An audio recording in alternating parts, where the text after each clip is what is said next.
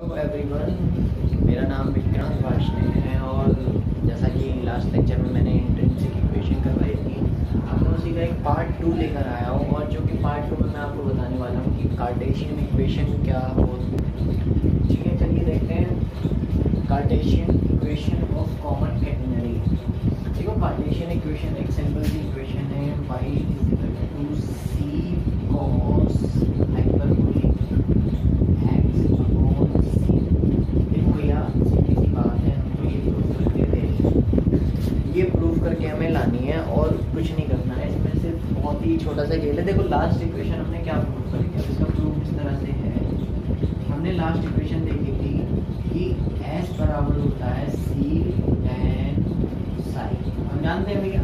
We know that we know that हम जानते हैं S equal to C tan psi होता है। भैया, हमको पता है, खूब अच्छे से और हम ये भी जानते हैं कि इंटीग्रल कैलकुलस में D Y upon D X जो होता है, वो टेन साई के बराबर होता है।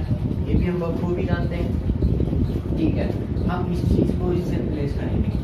S is equal to C dot D Y upon D X ठीक है भैया, कर दिया, कोई दिक्कत नहीं है। अब हम क्या करेंगे, इसका एक बार डिफरेंशियल करेंगे।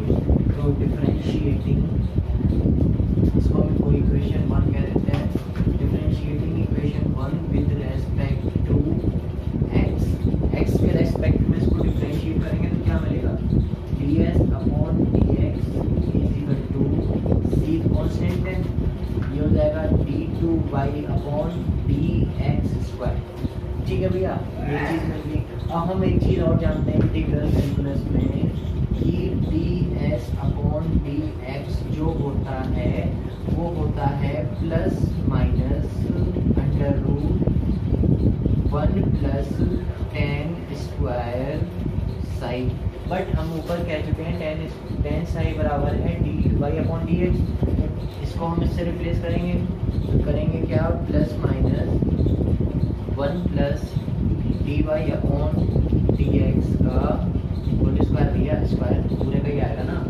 ठीक है, ये एंगल है। अब ये वाली चीज़ को हम लेट कर लेते हैं, कुछ जेड मान लेते माना कि लेट हमने लेट किया इसको।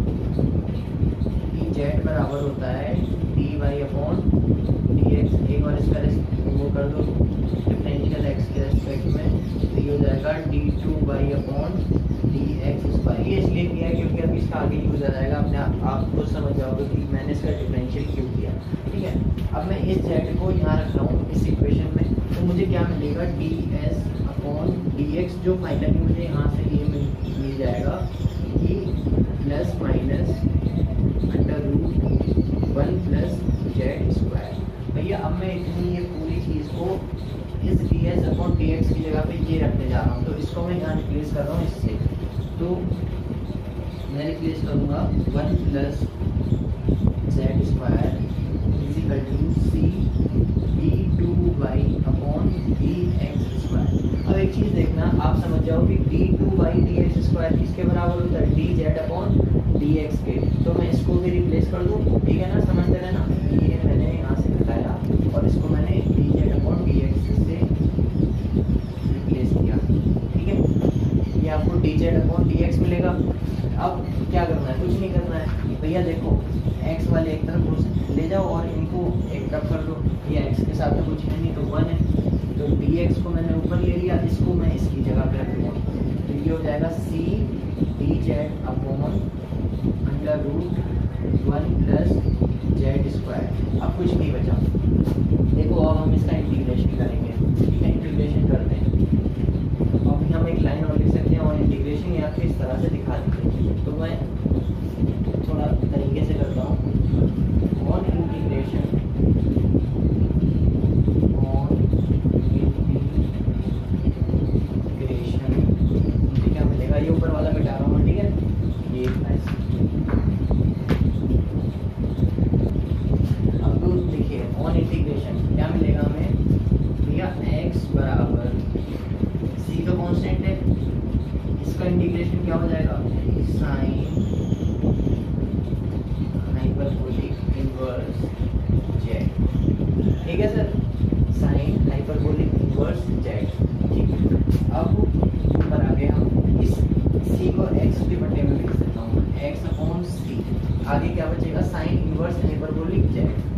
बचेगा ना साइन इनवर्स जेड ठीक है ये इस तरह से बच रहा है अब मैं क्या करूँगा को अकेला रखता हूँ और इसको भी इनवर्स को यहाँ भेजता हूँ मैं पूरी इक्वेशन चेंज कर देता हूँ क्योंकि जेड इधर है तो मैं लिख सकता हूँ sine hyperbolic x upon c भैया देखो इन्वर्स वाली कहानी है साइन हाइपरबोलिक इन्वर्स था तो मैं इसको इस तरह से भी लिख सकता था तो उस चीज़ को मल्टीप्लाई में लिख सकता हूँ तो वही काम मैंने किया है यहाँ पे ठीक है इसी को कंफ्यूज ना होना अब जेड को मैंने क्या माना था ध्यान रखिएगा जेड को मैंने माना था d y upon d x मैं जेड को रिप्लेस कर रहा हूँ d y upon d x से। और इधर sine hyperbolic x upon c ठीक है? अब फिर इंटीग्रेशन करेंगे। डी वाई डी एक्स को उधर भेज देते हैं। Sine hyperbolic x upon c ठीक है? Sine hyperbolic x upon c हमारे पास आ गया। On integration on integration we get हमें क्या मिलेगा y is equal to cos hyperbolic x upon c और नीचे जब हम x अपॉन c का करेंगे तो हमें मिलेगा 1 अपॉन c अब इस 1 अपॉन c को मैं मल्टीप्लाई में ऊपर भेज सकता हूँ तो मुझे इक्वेशन मिलेगी y is equal to c dot cos hyperbolic x upon c. ठीक है देखो एक चीज़ मैं भूल गया हूँ। यहाँ पे प्लस सी कांस्टेंट भी आ रहा है प्लस सी कांस्टेंट आएगा। तो हमें एक इक्वेशन मिल गई। अब देखो भी इतने कम तो हमारा हो गया। लगभग हम अपनी 90 परसेंट पे आ गए। अब हम देखेंगे कि भैया इसे भी तो हटाना है बट इनिशियली क्या रहा था? बट इनिशियली क्या था? एक्स भी ज़ीरो था, भैया कोई भी चीज़ ज़ीरो थी। ठीक है एक्स ज़ीरो था, ये सारा ज़ीरो हो जाएगा।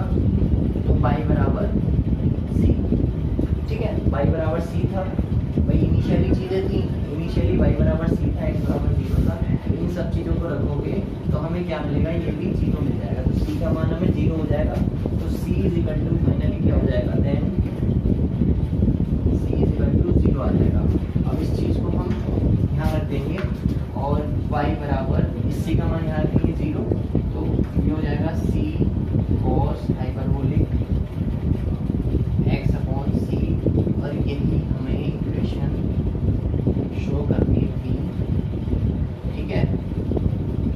और thank you thank you so much thanks for watching my videos and like share and subscribe करते रहना भैया।